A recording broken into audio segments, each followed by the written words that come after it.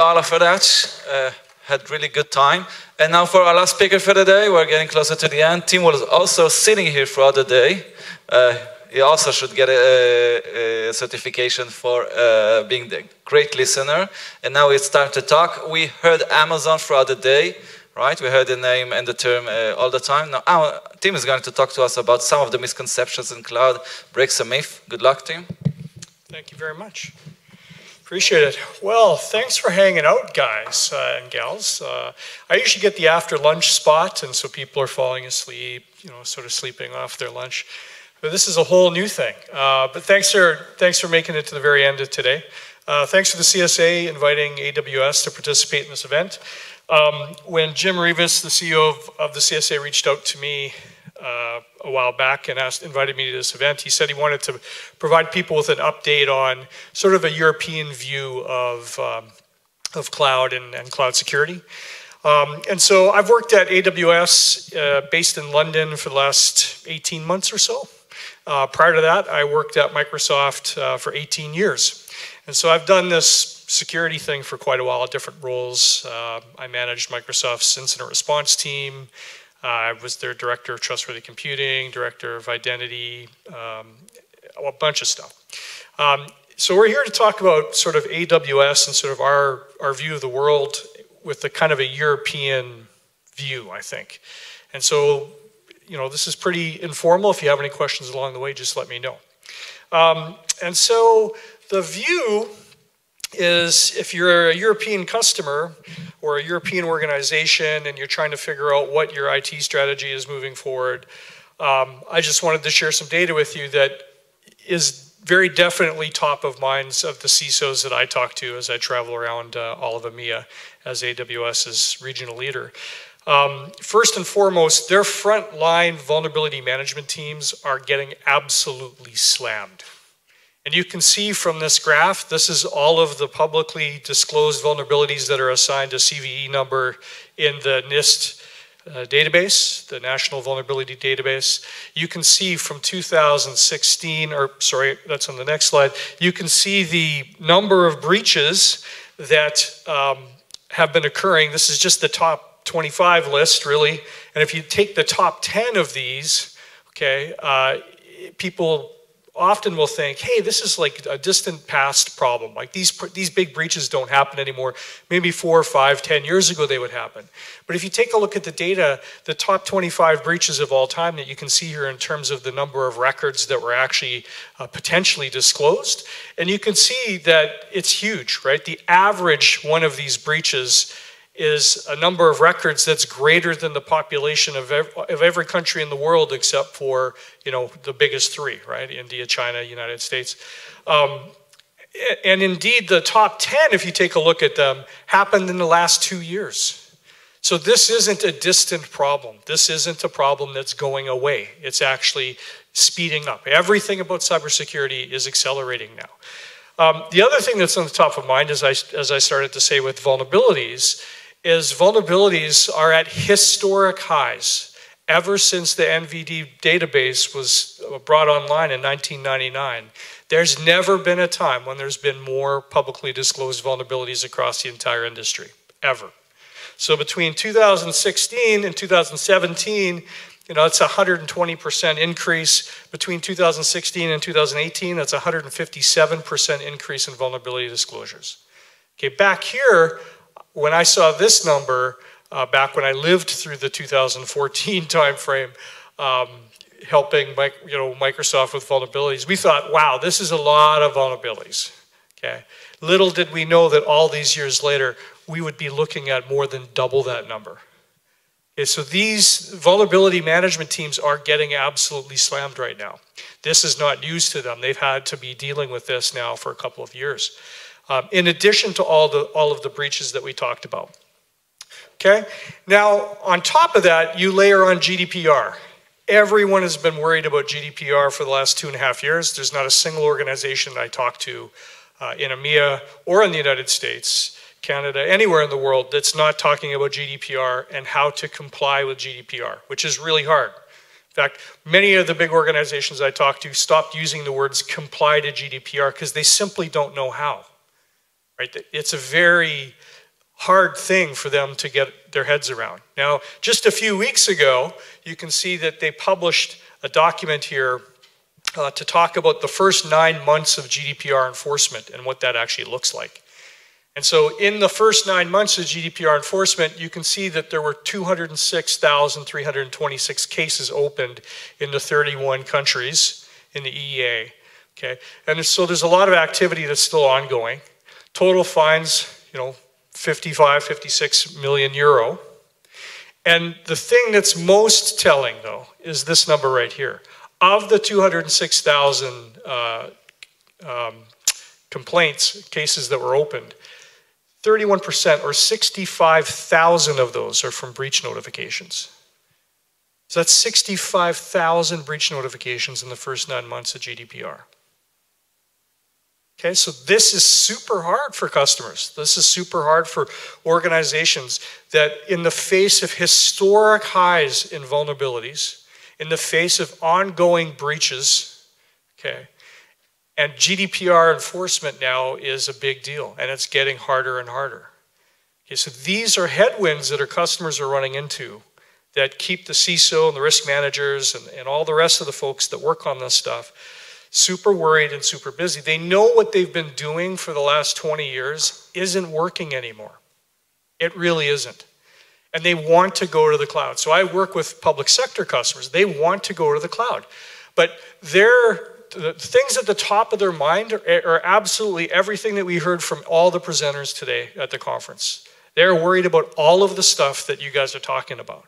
Okay, and, and, and it's a rational fear. You're, you're talking about a big change here potentially for organizations. So when I come into the room to talk to them, this is what I call the usual suspects. Okay, this is what they want to talk about in the order they want to talk about it.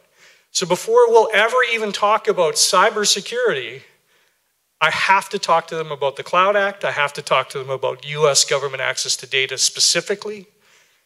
Okay? And if, you know, their biggest worry is that the US government is trying to get access to their data. And so we'll spend time talking to them about this and show them, you know, all the tools they have, both legal tools and technology tools that will help them mitigate that threat. Okay? And so um, we have been able to onboard lots and lots of public sector customers because once we walk them through those mitigations, they're no longer worried about it. They know they have bigger fish to fry, like all those vulnerabilities we talked about, all those breaches we talked about, GDPR compliance, right? So this stuff begins to fade away once they actually see how they can manage it. Okay. The other things you can see here, data residency, data sovereignty. You heard a, a couple of the presenters today mention these topics. Um, Olaf mentioned it in his great presentation uh, just prior to this one. Um, and customers want to know, like when I put my data in this cloud, does the data move? Where does it move? Who decides when it moves? Okay, the reality in an AWS is when you pick a region and you put your data in that region, your content never moves unless you decide to move it. Okay, so this isn't a case where content moves because we're trying to help out. This is a serious uh, requirement from companies like Olaf's and all of yours. Okay, super important. We will not move that data because that's how important it is. You guys have regulation you've got to comply with. We have regulation we have to comply with. But getting clear on that, getting clear on the details, what doesn't move, if your if your AWS account details, remember you can log into your account from anywhere in the world. Okay, well those details, your login information, you need to be able to log in from other parts of the world, right? Now you have total control over that. If you want to keep all of your identities on premise and never federate that with the cloud, you can do stuff like that. So there's a thousand, thousand ways to do anything in AWS, but it starts with your requirements and getting really, really clear on what those requirements are, and then how to architect a system that meets those requirements. Because there's no one way to do things in cloud. There's no two ways to do things in cloud. There's a thousand, thousand ways to do things in AWS. Okay? All right. Um, encryption and key management. Encryption has, uh, this is the renaissance of encryption, right? If you're going to put data in a public cloud and it's sensitive in nature, or even if it's not, some organizations want ubiquitous encryption. You want to have the ability to encrypt the data. You want options whether you encrypt it on premise before you put it in the cloud, encrypt it in the cloud because the cloud our key management service is integrated in all the services. So that really minimizes the, the, the uh, light where, you know, that, that day of light where your keys or your data actually are in clear text, right? That minimizes it by having it integrated with the services. But if you don't want to use that, you don't have to. You have a whole bunch of options when it comes to encryption and key management. You can keep the keys on premise. You can use a hardware security module and keep the keys in there. Okay, there's all sorts of options, a thousand, thousand ways to meet your specific requirements. Okay, and then we heard this one several times today, right to audit, right? Lots of customers want the right to audit. And you can't blame them because for 30 years, they've been in a managed service provider world, and the managed service providers haven't done a particularly good job of giving them access to information in near real time or even periodically. So they demand the right to audit as a procurement artifact and in all the contracts. And so here comes AWS, and we offer customers the ability to audit their stuff, their account, and all of the infrastructure they use, all of that stuff, in near real time, continuously. It never been available before. Okay, and then you can audit that against whatever standard you care about. And if it ever starts to skew out of that standard, you have all sorts of options because it's code. You can bring it back into the standard. You can send mail to the IR team, to the audit team, to the lawyers, like whoever you want to send it to, right? It's code. So there's a thousand, thousand ways to do this, right? But now that you have the ability to audit your stuff in near real time, continuously, in addition to the 60 plus different certifications and attestations that some of the other presenters talked about today, okay, why would more auditors in the data center, how would that add assurance? How would that be more security? To, the, to already the, all the audits we do across 165 services in 21 regions and 66 availability zones. It's not additive. More audit is not the answer. Okay, no more, just more point in time audit is not the answer, right? You have the ability to do continuous audit. Okay, and then you can do really interesting things based on what you're seeing happening. Never had the ability to do that before. So this is why the right to audit isn't as important today as it once was because even if you do have the, right, have the right to audit and your auditor came in, what would they add on top of all of the 60 plus different certifications and attestations that we've got from world-class auditors in addition to you know, your ability to audit in real time? Okay? All right, so these are the issues. These are the underlying assumptions that lead to those issues, lead to those things being top of mind. Okay, the number one issue that organizations that first contemplate moving into the cloud have, the number one thing that takes them down the wrong road is the assumption that the public cloud is the same as a managed service provider environment. It's the same type of thing that they've been using from managed service providers for 25 years. This one just happens to be owned by Amazon and, and they're based in Seattle, Washington. Nothing could be farther from the truth. This is a self service cloud. It is not a managed service provider. The business model is different.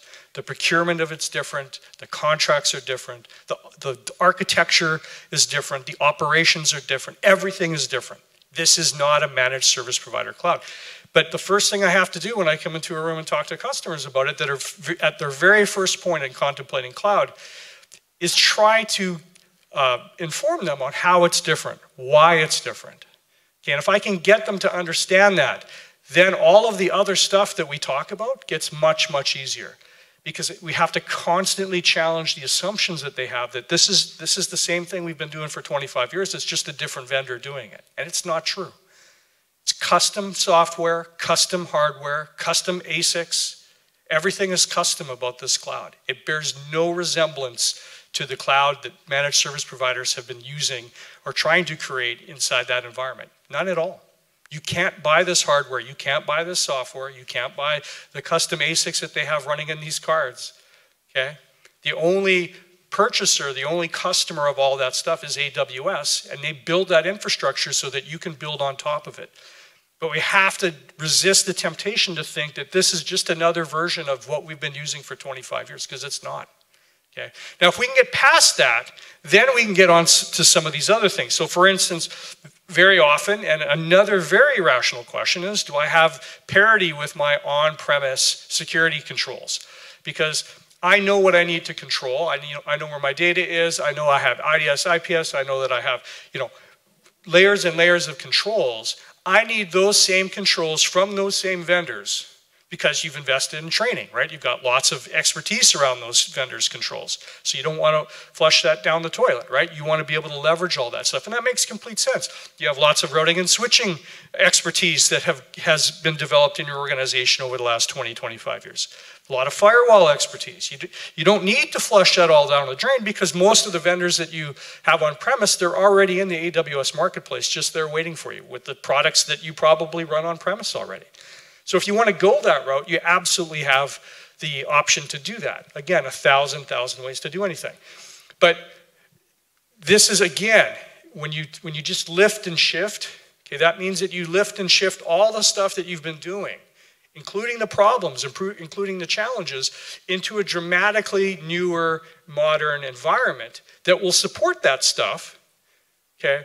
But that's not the cloud. Okay, that's what the cloud was three, four, five years ago. You remember AWS has been doing this since 2006. The modern cloud is much different, and I'll show you what that looks like here. Um, also, compliance, as we heard today, compliance is a big deal, and compliance is, means different things to different organizations. They have different standards they have to comply to. Some are regulated, some are industry standards, and so on. The CSA's got all sorts of helpful stuff like the STAR registry and the CCM. Okay, so your ability to be able to comply with that, okay, again, challenge the notion that someone has to physically walk into a data center to comply with some of that regulation. Okay, in some, in some organizations, it's true, right? But that's how you build a chain of trust using, let's say, a SOC 2 Type 2 or other, one of the other 60 plus certifications, attestations that we have, and then you do your own stuff on top of that, right? Okay? Um, and then finally, the last one is by using a local service provider in this market, that means that those local service providers aren't subject to US jurisdiction. So if there's a warrant or a subpoena or a Cloud Act request for data, they're immune to that. Okay, and, and I gotta be honest with you guys, that's mostly nonsense, right? Those are local service providers like to say that stuff. The reality is there's a legal test to determine whether that's true. Okay, there's a thing called minimal contacts. Okay, if that provider has uh, physical presence in the United States, okay, they have people working there, they have executives there. If they have customers in the United States, and a minimal contact in that scenario is, hey, you have a website and someone from the United States came over and used it. Okay, that brings you into US jurisdiction. So vendors telling you that they're not subject to the Cloud Act, do your due diligence. Find out, do they have a physical presence in the United States? Do they have revenue from customers in the United States? Do customers from the United States visit their websites?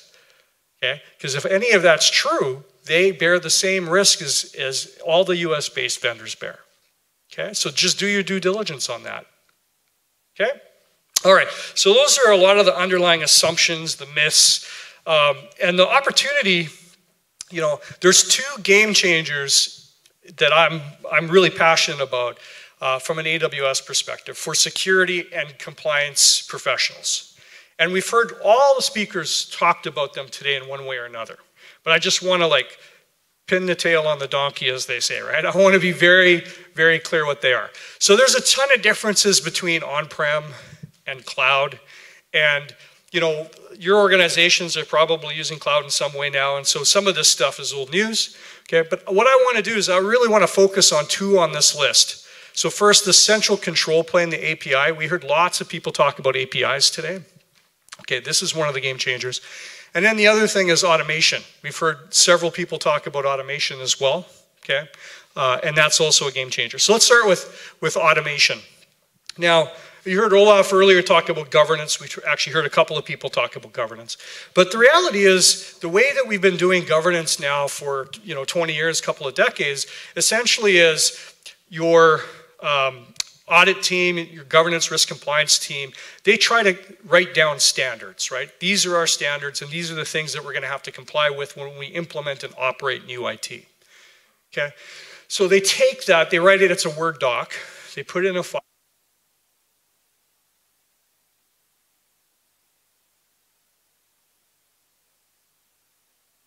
See, I went last and I got burned on the mic. uh, you can have this one. Okay. This one. I like to walk around. All right, let's, uh,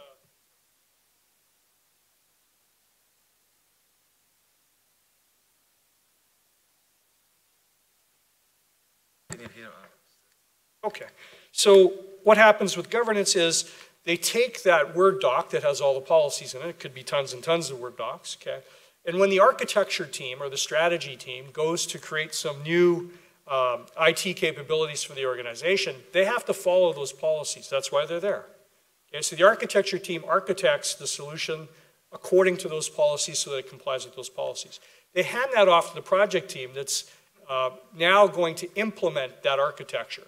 Okay, so they go and they interpret the policy themselves, and they look, they look at the architecture, and then they go and implement it. And there could be dramatically, I'm sorry, there could be dramatically different, uh, uh, uh, dramatically different assumptions and interpretations of that policy. Later on, when they get to a milestone or a release gate, now the audit team comes along, or the compliance team, and says, now let's check whether the, what you've implemented actually meets the policy. And if there's gaps, if there's deficiencies, they send them back into development and they have to go back and fix that stuff and come back and they play this game. Okay? Then later on, once they figured it out, the, the compliance team will share the policy the updates, if any have come from that, and just how that whole thing is performed back with the architecture or strategy team so they are informed on how this is supposed to work, what worked well, what didn't, and so on. Okay, cool. For now. Yeah, if you got another mic, that'd be great. But um, and so this, what we're talking about here with automation, is a game changer for governance. It's a game changer for security. It's a game changer for, for compliance. Okay? So, for instance, imagine instead of having Word docs with policy written inside of them, it's not a Word doc at all. It's actually code. Right? So you're actually writing code that's going to run in, on a computer. Okay? So that code is the policy that's been codified and written in a language, in a programming language. Okay, so now that code is going to be used as the basis for all of the checks for compliance. And because it's not a manual process, the, the actual project team that's implementing the project can check what the gaps are constantly, in real time. They can generate all sorts of reporting from that. Okay? And then when they get to a milestone, and the compliance team comes to check, well, instead of having to go and manually check whether they met the policy and the same interpretation of the policy, they can simply go to the dashboard that you've created to consume all of that governance uh, checking, and they can look and see, like everybody else can, does it actually comply? Where are the gaps? And that same compliance dashboard, all of that compliance information can now be shared not just back with the architecture team that needs it, but it can be shared with the compliance team, it can be shared with the operations team because they can benefit from that. Is it still in compliance? Is it not in compliance? You can share it with the audit team, so both internal audit, external audit. And it literally, you cannot ship anything unless it meets all those requirements, and that's automated, so there's no interpretation going on here, no cutting corners. That speeds up the development and release process dramatically. And then from an infrastructure perspective, you can see here we call it infrastructure as code. That means that I can provision servers, I can provision services running code. There's no more putting a DVD in a drive or going to a network share and installing Windows on a box or Linux on a box that way. Okay, the beautiful thing about this is once I codify, like I write the code to actually deploy my server, if that's what I'm doing, and I press the button to, to deploy it, it, it deploys the same way whether I'm deploying one of them or a million of them. It's the same one button. Okay? And you can constantly deploy systems this way. The beautiful thing about it is, is these you can create short-lived infrastructures this way. So if the bad guys ever did get a foothold on a server because you were missing a patch, right? There was a zero-day vulnerability and now they got on that server very quickly. The fact that that server only lives for a few hours before it gets shut down and, and rebuilt from scratch makes it nearly impossible for them to do the types of exploitation that they've done in the past. They can't use that as a beachhead because it doesn't last for more than a couple of hours. The other thing is configuration is code. You can always comply, you can always check whether what you have running in production is what you deployed. Because you know what you deployed, it's code. That code is used to compare what's running in production, and if there's configuration differences, You've got options. Do you want to bring it back into configuration? Do you want to blow it away and rebuild a new one from scratch because you know it's going to comply? Do you want to take a copy of that, put it in a new virtual private cloud, let's call it a clean room, call your forensics team, set up the forensic software on that server so they can analyze it all in real time? You can do anything because it's code. And now you have total visibility and control because it's infrastructure is code, configuration is code, and the policy itself is code. This speeds everything up and makes sure that you're always complying with whatever standards you care about. Okay? All right. Um, and this is what Olaf mentioned in his presentation earlier, is that concept of a CI-CD pipeline, continuous uh, integration, continuous delivery. Imagine that since everything's code, that if you, if you have your security checks in every step of that process, right from check-in to build all the way through to maintain, and you're, you're enforcing all of your security in that process, nothing can get through that process unless it meets your security and compliance requirements. Okay, nothing can ever get into production unless it meets your requirements from the get-go. Okay, that's the power of the DevSecOps you know, culture, uh, philosophy, technology stack that supports that, right? Is this is very, very powerful. Okay? All right, so uh, the other game changer I talked about, we talked about automation. Now let's talk a little bit about the API. So the, the application program interface, everything in AWS is API driven. Okay, so in, again, instead of having to remote into a system using SSH or RDP, terminal server, whatever, you can actually um, just send an API call to there. Thank you very much. You can just send an API call to the system and it gets authenticated. If the API call is authorized, then it just runs. And that generates a bunch of data that you can use for good things as well. So the API becomes really powerful because it's authenticated. You can check if it's authorized. Uh, it's very quick. You can see all sorts of benefits here. But now you have real power. And let me explain why. Why I think this is a game changer. No matter how you use AWS, it goes through an API. So for instance here, the AWS Management Console, that's where you log in in your browser. Everything you do in that browser is going through an API to get to AWS. Okay? If you run scripts from the command line interface, the CLI, or you're running manual commands from the command line and you're interacting with AWS, you're using the same set of APIs. And finally, if you write an application using an SDK, compiler, linker, and all that, and it's interacting with AWS, it's going through the same set of APIs. So that makes those APIs the perfect place for visibility and control. You see everything that happens in your account because they have to go through the API. It's all authenticated, it's all authorized. Okay, and then what we do is we actually have a service called CloudTrail, and all of the API calls in your account are put into that log. Now you can do really interesting things with the automation that we just talked about. You can constantly be looking at CloudTrail and what it's doing and like what it's logging. And if you're looking for indicators of compromise, if you're looking for skew from your standards that you care about, you'll identify that in near real time and then you'll be able to take action on that. Bring it back into standard.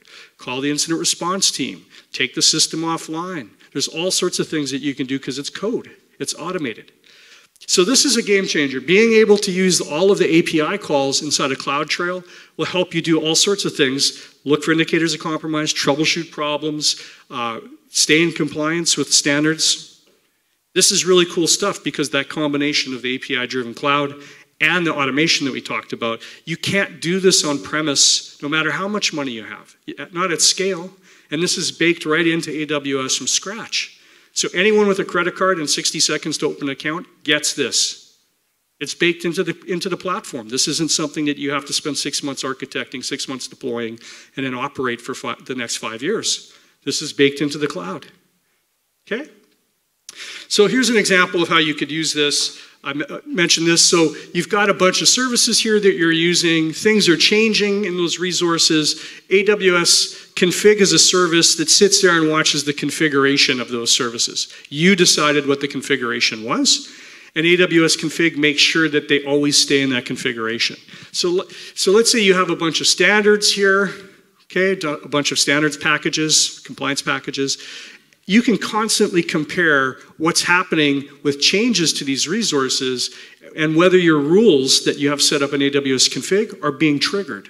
So if something does change, you're going to know in near real time and you're going to be able to take action based on whatever rules that you define. So that can be, again, notifications. You can uh, do API calls to services. And then you can also do, as I mentioned, snapshots for forensics purposes or whatever. It's code. You can do whatever you want. A thousand, thousand ways to do any one thing. Okay? So in summary, I just want to run down those myths again.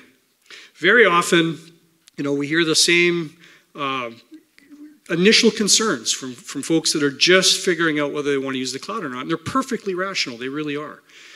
But for folks, the Cloud Security Alliance, you know, and, and the broader audience, I just really want them to know that we hear you loud and clear. We completely understand. These are rational things to be asking when contemplating moving into the cloud.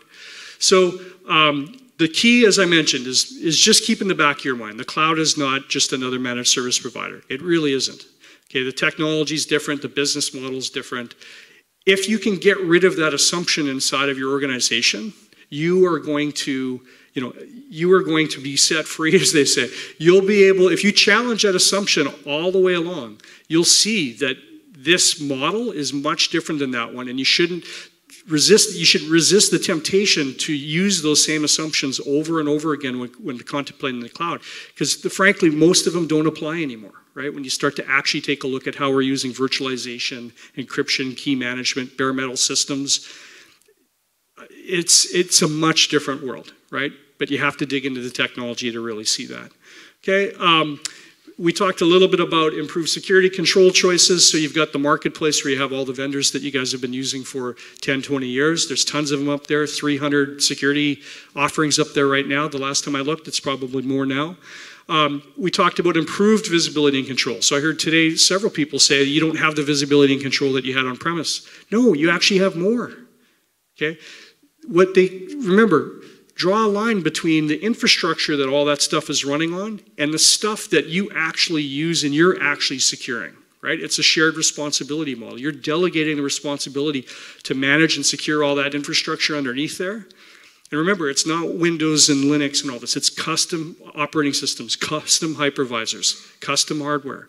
You've delegated all that stuff to aws to manage and patch and you get to focus on the stuff above that, which means that you've just eliminated most of the technical debt that you've been carrying on premise all these years, right? All right, so uh, we talked about how to use automation and API and how that really does provide visibility and control that you can't get on premise. Um, and then, you know, the cloud can reduce cost and complexity of meeting your compliance obligations, and it can do that continuously, right? Because now you can have policy as code, and since your infrastructure is code, your configuration is code, you can always be in policy and, and you have the machines checking it all the time instead of humans. If you do this in addition to your point in time audits that you have to do if you're in a regulated industry, that will definitely reduce the costs and it will definitely reduce the resources and the burden to make that happen. Okay?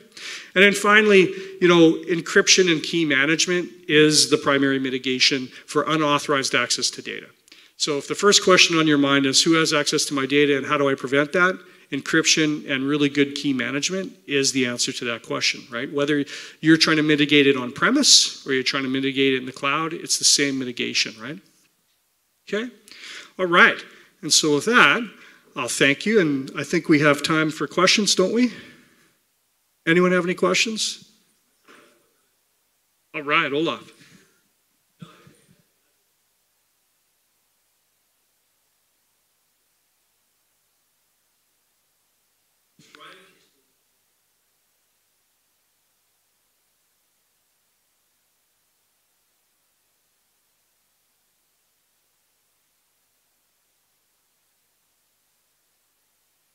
Right.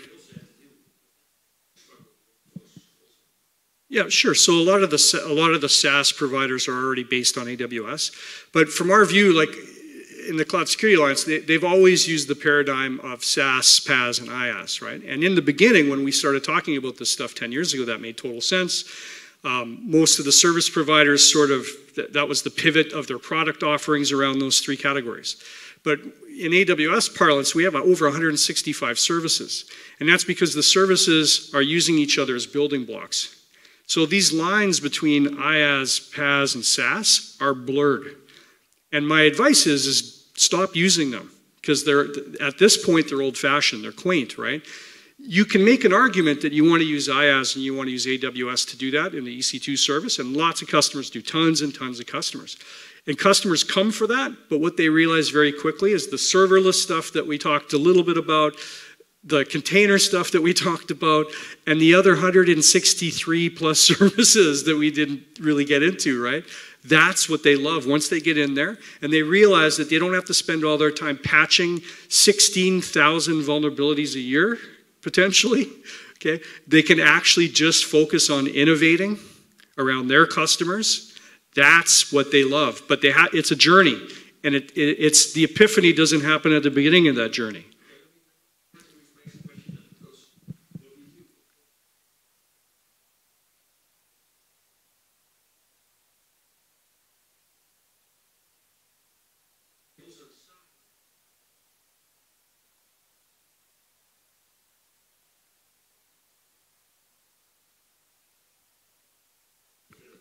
Right.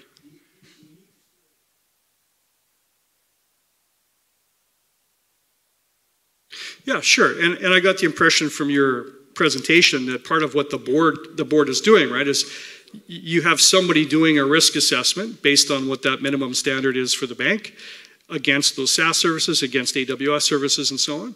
And then if we meet your, your standards or the, your requirements, then you'll anoint that service that you can use that.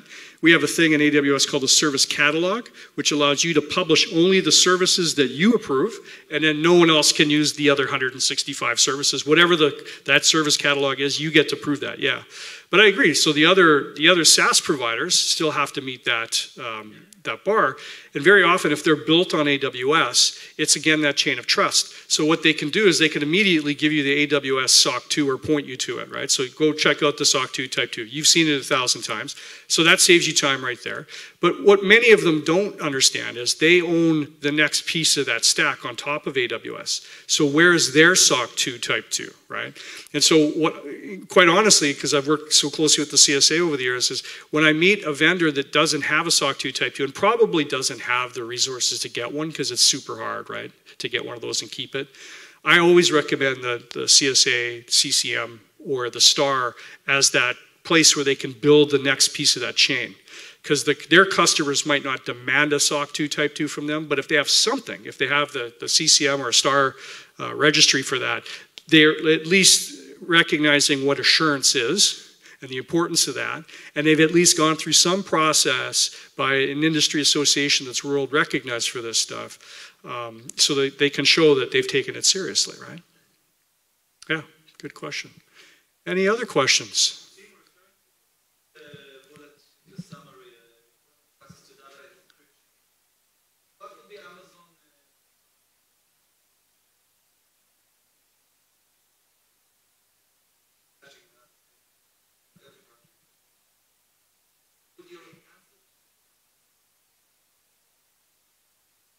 No, so this is a it's a risk conversation, right? So there are organizations out there that don't view their cloud service provider as a risk and don't view governments as a risk.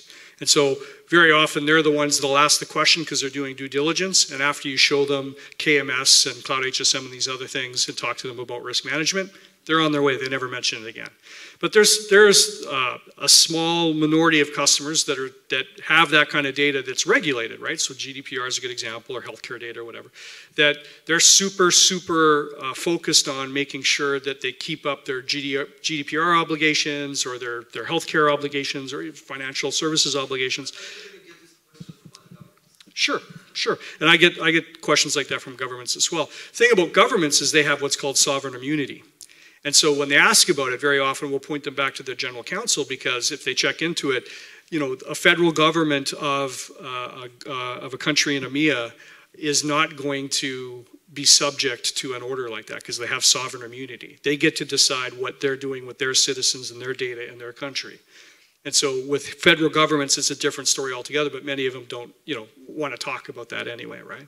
But for, for most of the other folks that do, that will view government access to data as a risk, a real risk, and they want to mitigate it, that's where we talk about encryption uh, and virtualization and, and key management and so on. And um, my advice is, is again, there's a thousand, thousand ways to do anything. So if you want the most assurance that your data is safe in the cloud and no one can get access to that data, keep the keys on premise, right? Or another thing that we just released not too long ago is what we call uh, our, our custom uh, key store solution, where you can create it, uh, use Cloud HSM, which is an H, uh, hardware security module in the cloud, and you actually keep the keys and provision the keys there, and it's inside a virtual private cloud. So you've got all of the layers of protection so that AWS and any other person that's not authorized to get access to that stuff can't get access to it. You have all the detection capabilities we talked about with APIs, the API logs, and all the automation and all that. And so, because that HSM is in your own VPC that you're managing and AWS doesn't have access to, then you keep the keys in there, but you can still provision keys to, or, or there's an integration, what we call the custom key store, that you can use with KMS. And the beautiful thing about that is the customer master key is kept in your HSM, in your VPC, and KMS, since it's integrated with 40 plus services, it can still uh, provision keys out to those services when they request keys to encrypt and decrypt data. But now, because you have the master key in that HSM, you own the lifetime of that key and you own the durability of that key. And so if you want to uh, immediately expire that key, you can do it. You have the power to do that. And all of a sudden, you'll have to create a new key, or maybe you're, you're trying to crypto delete your data. That's another question I get around encryption or with data is, hey, how do you, how do you delete our data? And the answer is we don't, because we don't have access to, to data, right? To your content. We don't want access to your content. So one way that you can you can delete it is encrypt it and throw away the key, and now it's deleted, right? So there's again, there's a thousand thousand ways to do anything in AWS. But a good set of requirements based on risks that you care about and high value assets of your organization is the place to start. So getting away from the emotional conversation around government to access to data, that's just another unauthorized party. And you should be, if that's a risk that, that you know, gets above the line and you actually want to fund that risk and put resources around mitigating that risk, then um, you should manage it like any other unauthorized access to data scenario. And that means you're going to do things around you know, identity, detection, encryption, maybe even dedicated systems on bare metal, so you're not even in a multi-tenant environment anymore, right? So you've got lots of options is the point. Any other questions? I think he said we're going to wrap up the day. All right, thank you very much. Thank you, Tim. Thank you, team. Thank you, all of us who stayed all the way up to here. We give you a certification of excellence for sticking up with us. And thank you all. Enjoy the rest of the Cyber Week. Thank you. Thank you to our speakers.